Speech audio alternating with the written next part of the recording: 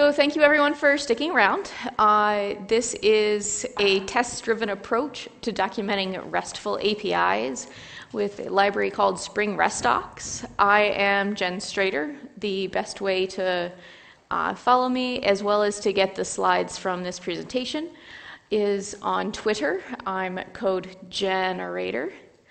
Um, yeah, so welcome.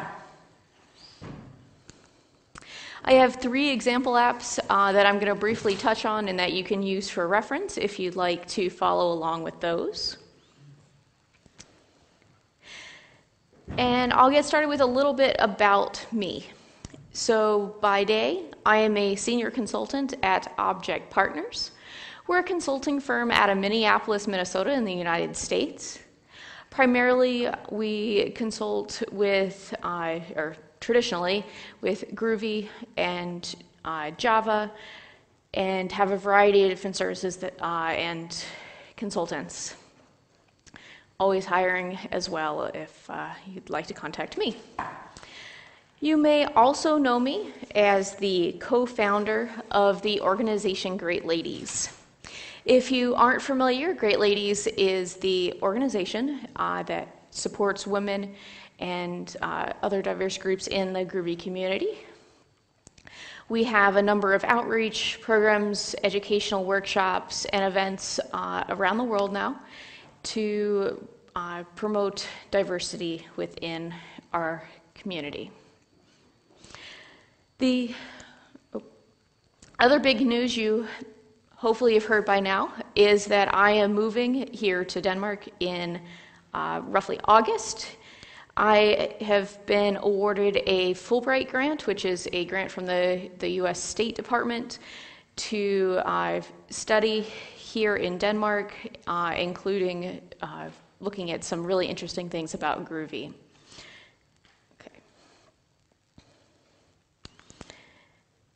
So that's a little bit about me. I'd also like to know a little bit about all of you that are out there.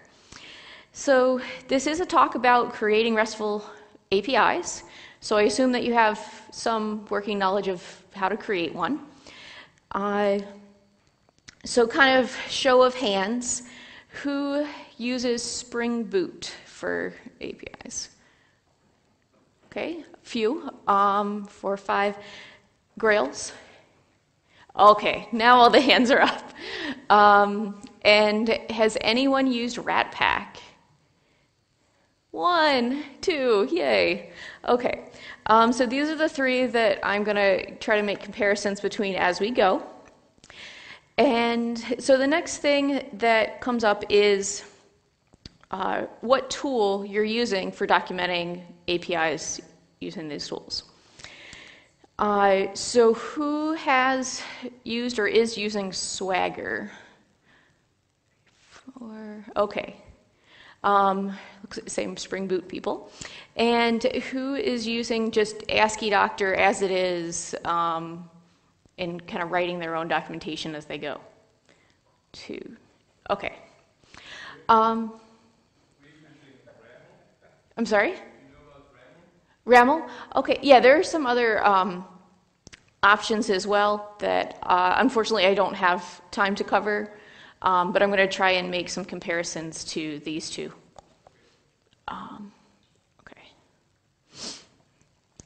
So you know a little bit about me. Now I know a little bit about you. Feel pretty confident that I can share a secret with you. I hate writing documentation. So, when I was tasked uh, last fall with coming up with a centralized uh, documentation solution to integrate several of our APIs from different parts of the company, I wasn't really thrilled about that.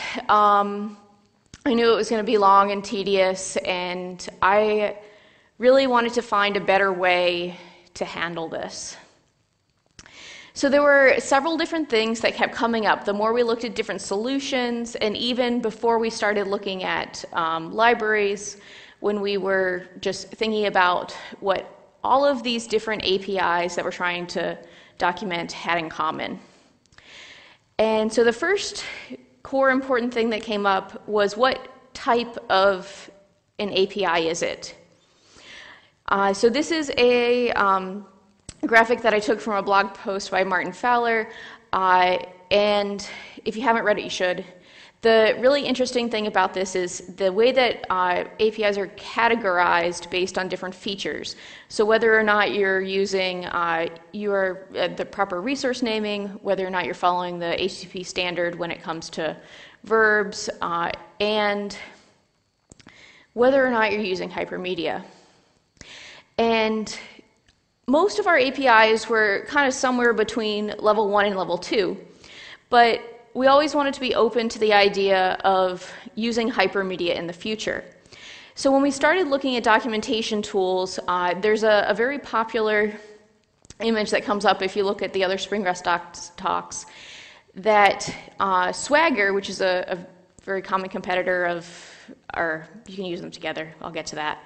Uh, Swagger doesn't support hypermedia.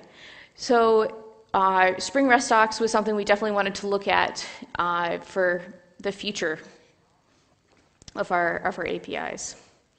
The next thing that came up was what we wanted our uh, UI to look like. So this is an example of the standard Swagger UI. Uh, it's very common, very popular way of uh, showing things. It's easy to, to generate and duplicate. Uh, this one I pulled from the uh, Kubernetes documentation. Uh, the other way that is commonly uh, used for UI is what kind of what Spring REST Docs suggests, and that's using uh, AsciiDoc uh, or an Asciidoctor to kind of organize information in a different way. So we were fond, definitely fond of the style on the on the right uh, because of the way that it organizes things in a, in a more human readable format. If you don't name your URIs consistently, the form on the left can be very confusing for your end users. Uh, and that was something we noticed very early on with the projects that were already using Swagger. We also had some central information that was the same across multiple APIs and that we didn't want to keep documenting on every single endpoint. And there are multiple ways to do that. Uh, but most of them had to do with things like uh, how to log in, how to get a token, uh, what the standard format of an error message is, and we wanted kind of a central place to, to document all of that once and not have to deal with it again. The next thing that I already kind of mention, or, uh, mentioned so far is that we have lots of little services as we split up into our microservice architecture. And that meant that we wanted to use the same tool on all of our APIs so that we get the same consistent look and feel. We also had, we're using uh, OAuth with JWT tokens, and this became a, uh, small hitch in using the standard Springfox UI. Some of the libraries that you can find uh, weren't supporting that, or we'd have to maintain our own custom version of the UI uh, library. Also want to make sure that we version things appropriately, uh, important in all uh, discussions about REST APIs. Of course, this is if you're not using hypermedia. So the first tool that we looked at was Swagger, uh, and in fact, some of our oh, APIs use Swagger for other things as well. It's great for standardizing, for having a specification. A lot of third party tools uh, can hook into your Swagger specification, but it can also be used to generate documentation. And within the first project that we were looking at, which are Spring Boot, there are two different approaches that you can commonly take. So the first one is a library called Springfox. There's uh, two components to that. It uh, has super easy install. You can add a few annotations and some uh, config to your application main and kind of get going right out of the box. You have to override a few things the more complicated your API is. Um, and you can end up with a bunch of annotations now all over the place. So the install is pretty easy. There's two different libraries. You don't necessarily have to use both, and I'll talk about the alternatives as well. Uh, and you add a small configuration uh, option about where you want things to go. And this can generate a Swagger spec from your source code and those annotations that are on it. Um, and it is a, a, test dependency, so you're not adding a bunch of overhead to uh, your application. However, this uh, it's it's all generated. Sometimes we needed to customize it a little more than what we were getting out of the box. So the other option was to write and maintain our own Swagger specification, which gave us all everything we needed. Um, but one of the key things that keeps coming up is how do you make sure that this stays up to date? I mean, this is something that we're maintaining ourselves. Uh, is tedious. It's part of that why I hate writing documentation uh, because it's just tedious, and uh, we didn't want to have to do this either. There were a few other considerations with using kind of the out of the box approach, and that was that our um, product team wasn't really happy with the, the generic Swagger UI. So we thought, okay, well, maybe we can just reskin it, uh, but then you have to keep your own version of it, make sure that gets updated every time there's a release. It wasn't really a deal breaker, but there's lots of libraries that let us use Asciidoctor or Markdown, so we might as well pick something else. The next thing that starts to happen as you add more and more annotations is that you end up with code that looks like this. Now, this is not a particularly long example, but I had to find one that fit on my slide. Um, but notice how the annotations are, or, and I should say, the annotations just related to documentation take up almost half the page. The other thing about these is that there's no verification that these are actually correct. So you can end up with, um, if you make a, a change to your implementation and don't update your documentation, you can get out of sync. Your end users are unhappy because now your documentation doesn't match what they're expecting. Uh, so if we find a different solution to this and take out those documentation only annotations, we end up with something that's a lot cleaner and a lot easier to read, especially if you think about that this is just one method. If you've got a whole bunch of endpoints in the same file, it's so hard to read through that. The next issue that we were having is that we have this really complicated JSON structure. So we ended up having to do a lot of overrides and defining of all the models in the fields because it didn't really mean anything when we had a response of my custom object uh, and it didn't tell you what the fields were, what the potential values are. And it was important that we have those, particularly for uh, QA and other purposes. But there's one feature that uh, is really important with the Swagger UI, and that's the try it button. I know a lot of companies, ours included, depend heavily on this for uh, examples as well as running it against the, the application itself. However, we were having issues with our uh, security system, or the way that we had the, the tokens, and we were having to do so much overriding and so much customizing of this that uh, it became a hassle. It also led to some lazy testing. So we just hit the button, tried it. We didn't try any other conditions to make sure that uh, all of our endpoints were working properly.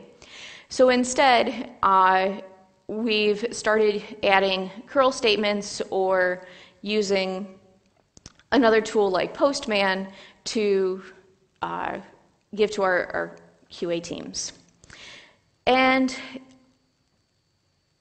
I haven't seen too much of a solution yet for this, but there is hope. So there's a new function out of uh, the Postman project where you can add a run button to uh, your API.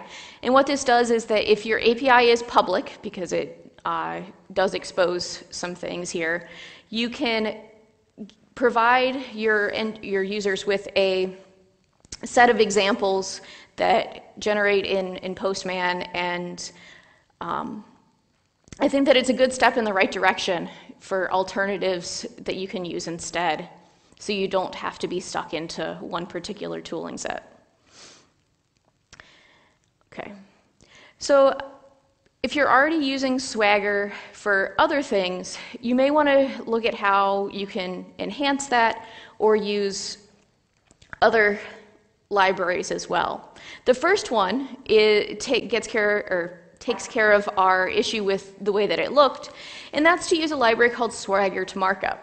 So that converts your Swagger spec into Markdown instead of using the regular uh, Swagger UI, and you can get something that looks more like what we were hoping for. You can, uh, by default, the paths here are still a little uh, like the, the Swagger UI by endpoint, but you can overwrite this and customize it in any way that you want. The other feature that uh, kept coming up is how to verify that what the documentation says is what, and what those annotations were, is actually what's happening. And you can do that with a library called assertj-swagger. Uh, so you can kind of prevent these mismatches where what you document is not actually what you intended to. And so you can specify contracts and do contract for Swagger that way to verify that everything is working as you expect. So that brings me to the big topic. How is this uh, test-driven documentation? So if we take our traditional red-green refactor cycle, um, we can add documentation to it, or to this uh, cycle, and make it even better and solve some of the problems that we were having. So now, in order for your test to go green, you have to add your documentation. If you refactor, you also have to update your documentation before everything will pass again. So that was really um, great about this particular approach.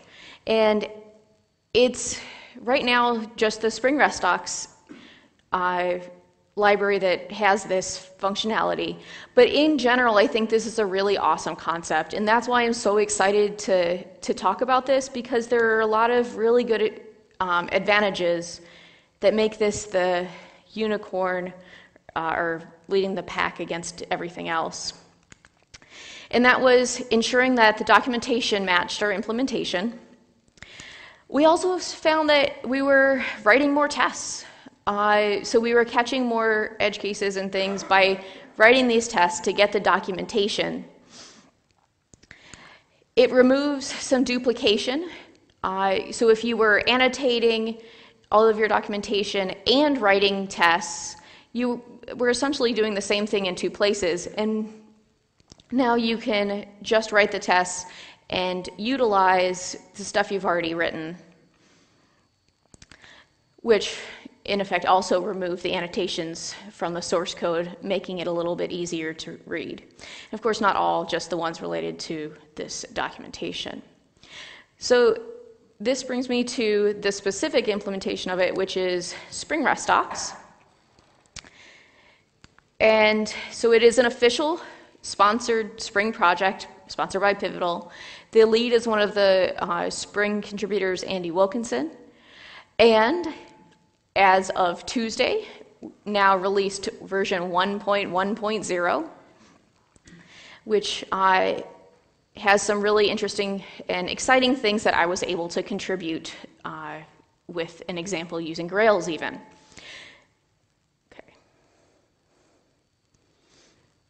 So the things that really make this particular implementation different are that we have generated code snippets. So you can get curl examples, uh, example responses from the tests. It also has a great mechanism to fail your uh, tests when your documentation doesn't match up. The other really important thing about this is that I've started using it in places where I can't use Swagger.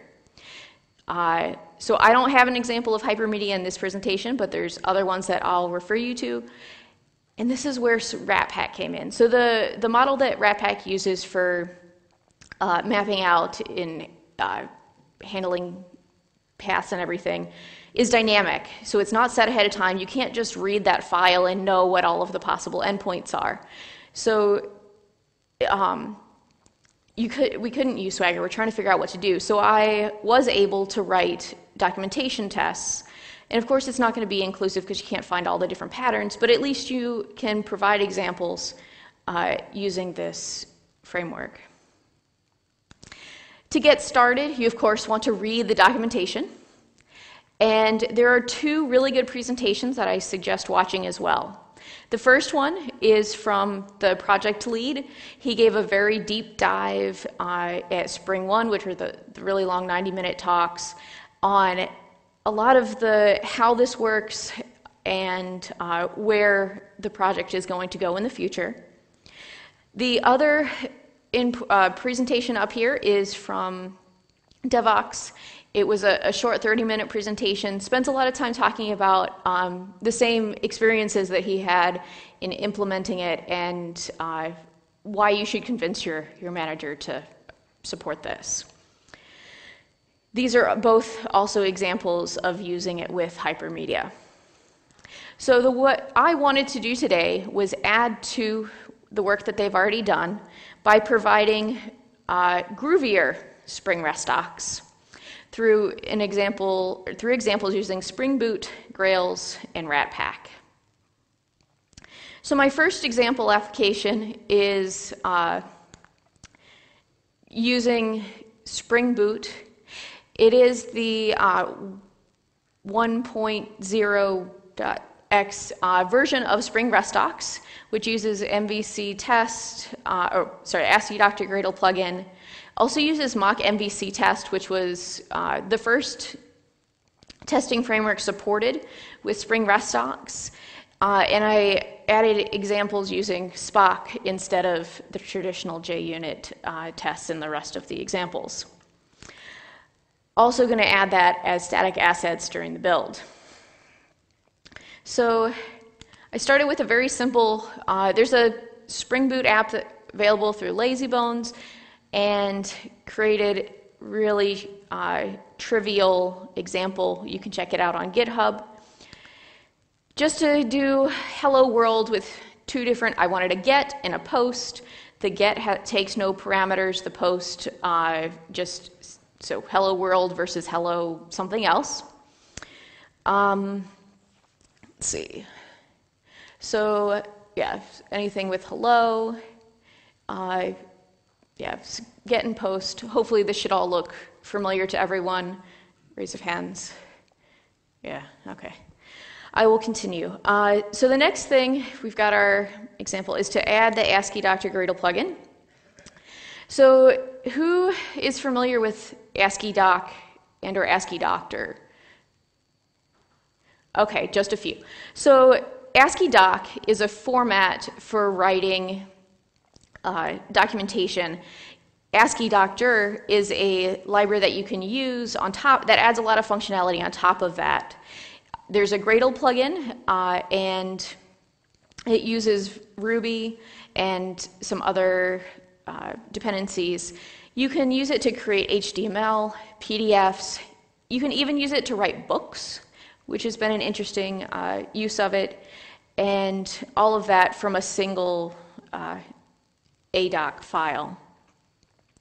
So in order to use it with Gradle, uh, there's a, a, few things, mostly for if you want to look at these slides later and see the, the how to do it. Uh, and this is just out of the box Asciidoctor. You can see lots of other presentations that go more in depth on what that is.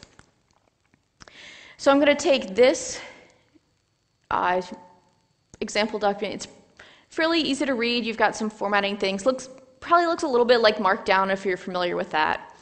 And by running the Gradle task, I generate by default HTML that looks something like this. You can configure those style options to, for how you want it to look, but out of the box, it worked exactly as we needed it. The next step was to add some tests. Um, or if you're doing traditional TDD, you probably would have written your tests first. But um, okay, so mock MVC is a little different. Uh, it wasn't something that I was familiar with before we started using this, and so I wanted to go into a few different things that uh, weren't intuitive from looking at it as a, a newbie. The first one was how to set it up. So you have two options. You can either set it up using a standalone controller. So if you just want to test something, uh, the endpoints on a controller, you don't need security, any of the other stuff, you can do this pretty simply. You get, uh, so this should be, yeah, readable. Do a get uh, and expect what the status is, verify all of this, and uh, what your variables are going to be. So the other option is to spin up the entire thing using the web context. And on, we ended, or usually use it this way. Uh, depending on what your, your usage is, you could use either or. Hopefully, I can save you some time from what I'm about to say next. If you keep getting that this context is null, look at your Spock uh, dependency. So this does require Spock Spring, not regular Spock core. Okay. So now we have an endpoint. Uh, we have a generic document that doesn't have any code samples in it. I've written a few tests and verified that they worked. Uh, so I want to now add, add in this Spring RESTdocs documentation. Of course, this isn't official pivotal image. I made this myself, but this is what I'm going to use for uh, diagrams going forward. So I have to add um, snippets directory for where I want my code samples to go, as well as the dependency. In the Asciidoctor task, I want to make sure that I then read the file where I output all of the generated code. And the other thing I don't have highlighted on here is that I added to depend on the test. So I want this to make sure that this is run after my tests and not um, before, otherwise you won't get any code samples. Okay. So going back to the example of get, I added in here a uh, apply for the documentation. And this is really how it hooks in. So it can take the things that you already have, um, this GET request, and compare that to what we expect. So in this uh, documentation block, there's a, a, few different things going on. So the first is just specifying what folder I want it to go to. With lots of endpoints, you'll have your own um, way to do that. Uh, you can add preprocessors, so things like pretty printing it, or uh, if you want to do things like change the URL because you're running it from a build server or something instead of your running application as well as what fields you expect. And this is really where it um, helps because we know what we're expecting and then compare that against what actually uh, was generated. So if I add this in and run the tests, I get a bunch of different examples that are formatted pretty nicely things like a curl request, an example response, as well as a table formatted with what the fields are. And of course, all of this customized and uh, changed over time. Another important thing, uh, if you're doing a list, is that uh, embedded objects are done with uh, square brackets, uh, useful if you're going through the demo uh, later. So it was also easy to do central information. So in, this is based on Spring Boot. There's a standard way that all error messages have all these different fields. So I can fake out a, an error response and document, uh, oh, sorry, document it pretty much in the same way. I can do that once uh, on any endpoint and then not have to do that for every endpoint. So the next crucial thing that uh, came up that I found really interesting was what it does when the tests actually fail. So it tells you exactly what doesn't match. So in this case, I had changed, uh, so it says not found was username, so I originally had it as username, and then I changed the field name to name, just trivial. And now those don't line up. Uh, and if you had multiple fields that had changed, it would tell you each one that failed. And so that was really, it has been really helpful when refactoring. Um, so that was, yeah, so if it's in the payload and not documented, the second example is if you uh, expected it to be returned and it wasn't. So there's lots of different options for what can be generated if you specify it. By default, you get the curl request, of course. Uh, you could also do an HTTP request, which is just formatted differently than doing the uh, curl statement. You get the traditional response. You could also create a table of uh, table of response fields, as well as descriptors of what types those things are and any other relevant information that you add in that descriptor field. And the same thing for per, request parameters. So now that we have uh, some snippets that are generated, uh, they're going to the build folder, but I haven't really done anything with them yet. So I want to incorporate them into my documentation. And this is, um, so it didn't seem like very many people were familiar with AsciiDoc, so I'll go over it a little bit. Um, you can include things, so this is a snippets directory, which is what I had configured in Gradle. Uh, the folder name that I had specified in my test configuration, and then which of those um, examples I want to use.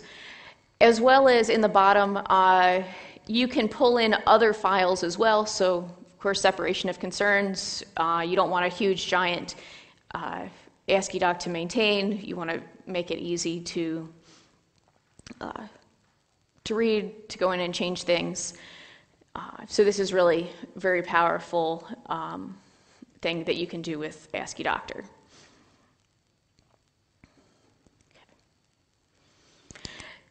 So the next step is that I'm going to build my documentation.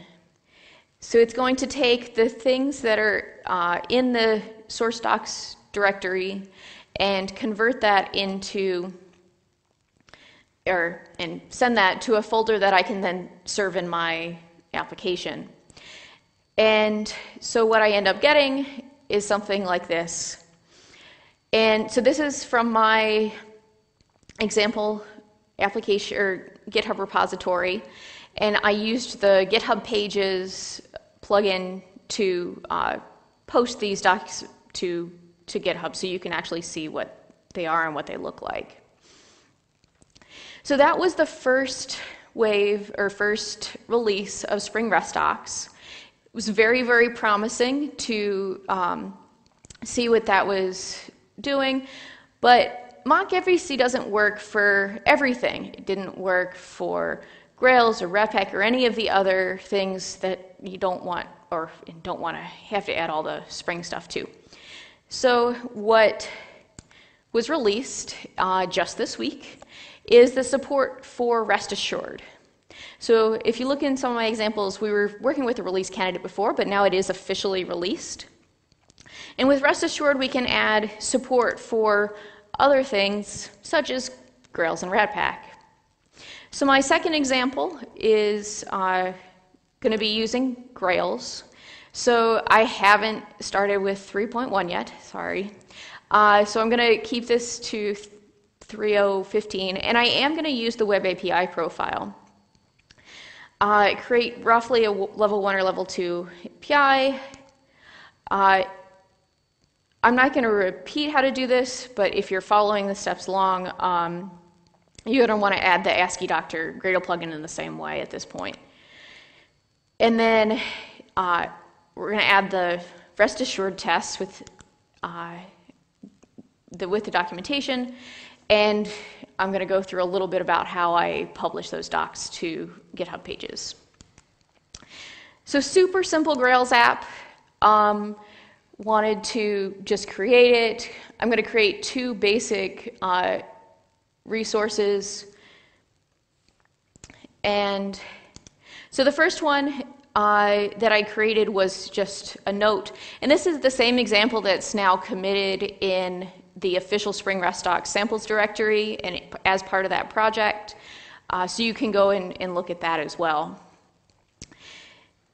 Want to have plural rise, added some basic things, and a, a map joining. Just it's the same, same example across all so that you can compare the different frameworks. Similar thing uh, for tags. So at this point, you would add the Asciidoctor Gradle plugin, same as before.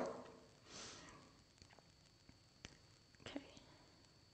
The, um, oh, the important thing to note here, though, is that if you are using the or running these as integration tests, uh, remember to specify that you want to run after your integration tests uh, in your, uh, your ASCII.config. Okay, so now I'm going to switch and go to rest assured instead of using MockMVC. So same thing, and then must run after integration test instead. Uh, this was, yeah, of course, specific to Grails. And you don't necessarily have to do them as integration tests. You can't, there is a, a way to make them run as unit tests. Um, anyway. So with Rest Assured, it's a filter, same kind of setup for the documentation. It'll hook in. There are a few variations uh, as far as what stage this gets output in when you run this, it will fail the documentation test before the it verifies what your output is, um, which is the reverse of mock MVC, so just as a, as a note. Okay.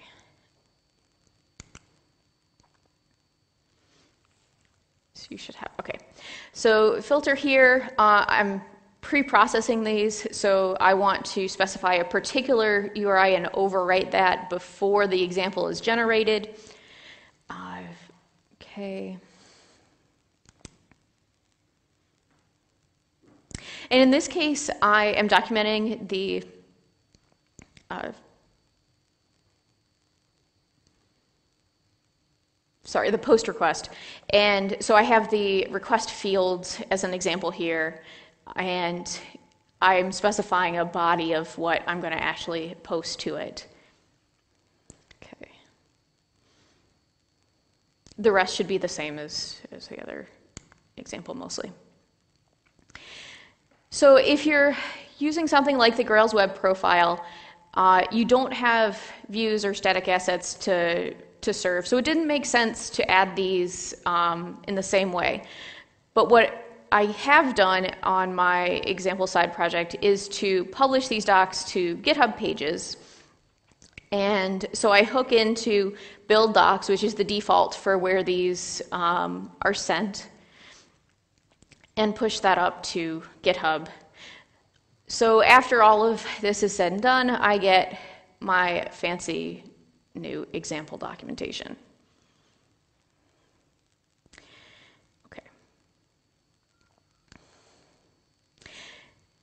So the other thing that I had talked about is that you can use this for Ratpack.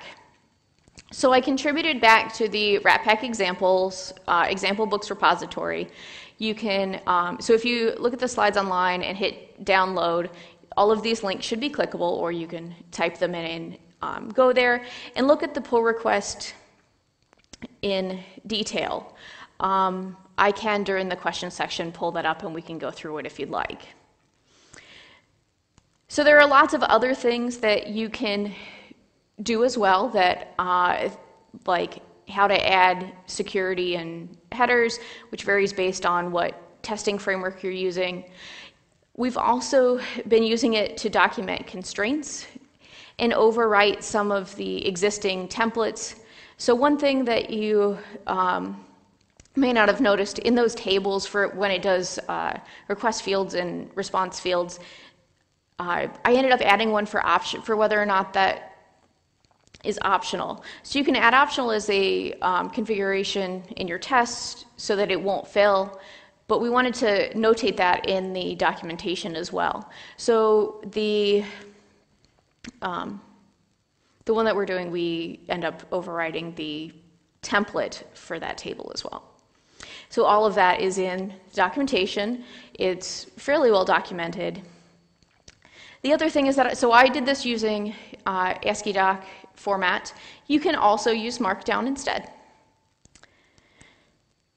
So as a brief conclusion, API documentation turned out to be extremely complex. There were a lot of different factors that came into why we ended up choosing kind of a hybrid solution. Some things are still using Swagger, but then we're using this for our documentation. It wasn't just about the easiest thing to get up and running. It was um, important to choose the tool that made it easy to maintain in the long run. And so Spring RESTdocs is definitely very promising. It is now, I mean, we're at 1.1, so we've gone a little bit into second release. And there's a lot of things still left to be done. And um, ways that I see this is going to definitely improve over the next few months and year. And of course, I still hate writing documentation, but at least it's a little less painful now. So, what questions do you have? Or would you like to look at the Ratpack sample? No questions?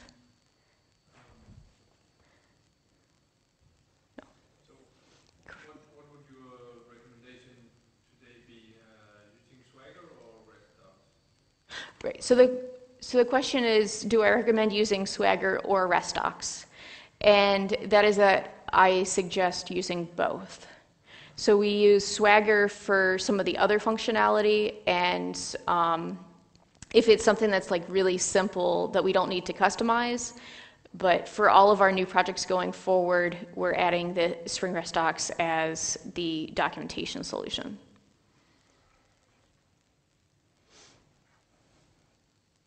And you can hook into, um, there's some of the libraries that I talked about before, you can verify that the documentation also matches up against um, a Swagger specification if you have one predefined with contracts. Um,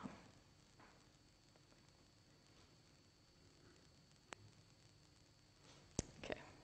So would you like to see the Ratpack pull request?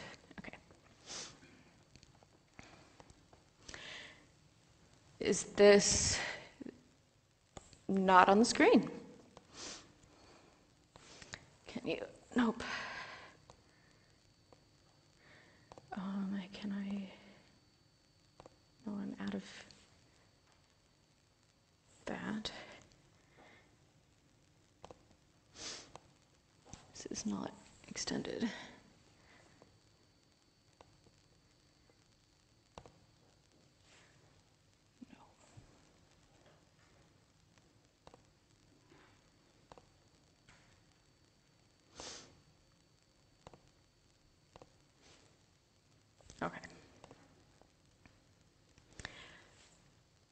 Go a little bigger here. Okay. So most of the beginning of this is pretty standard. Um, oh, another thing that I didn't mention in the slides is that uh, remember to add the generated folders to your gitignore so that you aren't checking in things that are generated. Um, basic Gradle ended up separating this out into a separate task so that I just run uh, RESTdocs. Still have this in the, yeah, so this was the M1 version before we released this week, um, or they released it.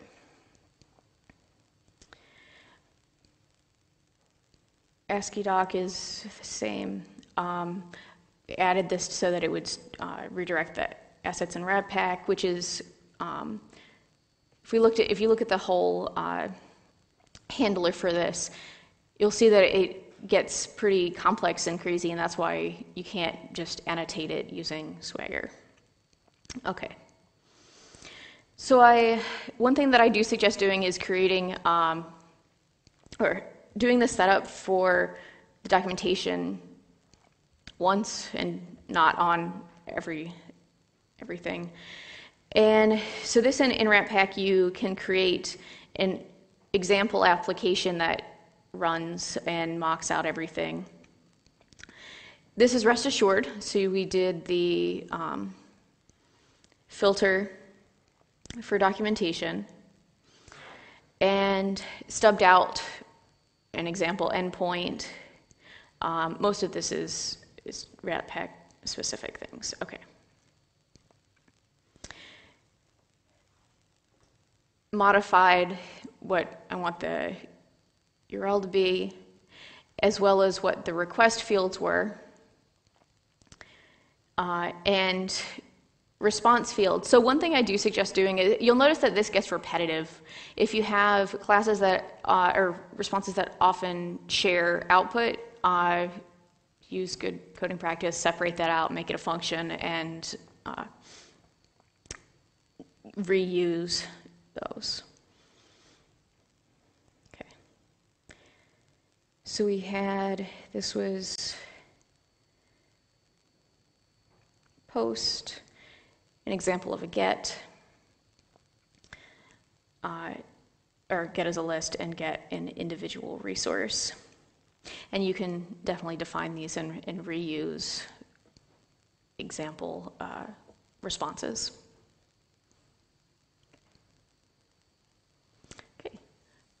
Do have time for maybe one or two more questions if anyone has one.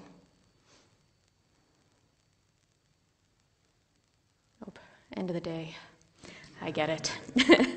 okay, so we'll end there.